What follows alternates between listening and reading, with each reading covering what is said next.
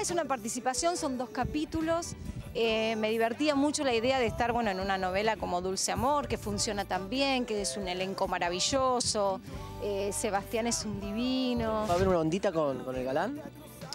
¿Qué sé ¿Le yo? vas a tirar un tirito? ¿Te va a tirar un tirito? ¿Por qué te lo deja títere con cabeza? Ah, no, de verdad. No. Igual resulta simpático. Sí, ¿viste? sí, Estos son los más ganadores. Ah, no. Estos son los más Ah, no, ganadores. manzana. Capaz que no. Bueno, ahora arranca una escenita que, que- que nos miramos y le digo, "N- ¿nos conocemos? Sí, claro. ¿eh? Claro. eh. Hay, hay una cosita.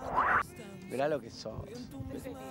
Aparte, en 20 minutos te transformaron. Eso es lo que habla de una mujer bella que no necesita mucho make-up. O sea, ¿la manzana se la diste vos por el pecado o no?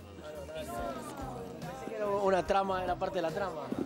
No, no, no, es porque tengo hambre y no comí.